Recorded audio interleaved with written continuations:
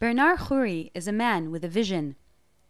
After receiving a Master of Architectural Studies degree at Harvard University in 1993, he decided to come back to his home country, Lebanon.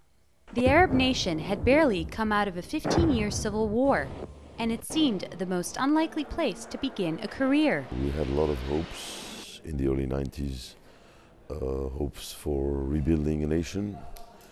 Uh, and this is beyond just the field of construction, building a nation in the sense of, um, in the very broad sense of the term. And obviously, this uh, comes with a lot of challenges. Inspired by the political, social, and cultural complexities of Beirut, the Lebanese architect doesn't shy away from projects that require him to come face to face with the sometimes harsh reality. At the time Yabani was built uh, on what was still looked like a demarcation line, the building next door was still squatted by people who were living without handrails, without windows, uh, without running water. They were basically squatters living off two, three hundred dollars a month.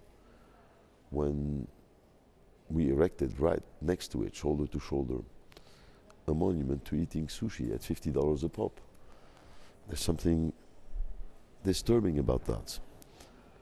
But this is a situation that is there one of his earlier projects with BO18, a nightclub that was built in Karantina, a place where Palestinian refugees used to reside.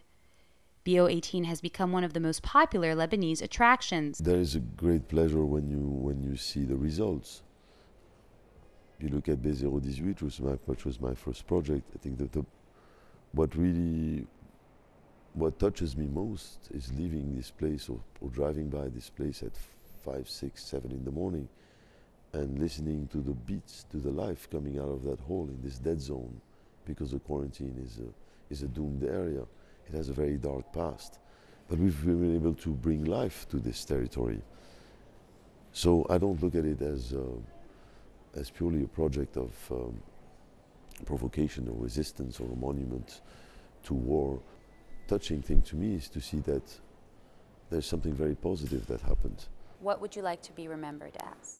I won't be remembered by the kids who, who are going to wake up, uh, slide their uh, slide their door, and walk on their balconies, and have their memories of these great instances they've had, walking, climbing on their facade to uh, to go reach their parents' bedrooms.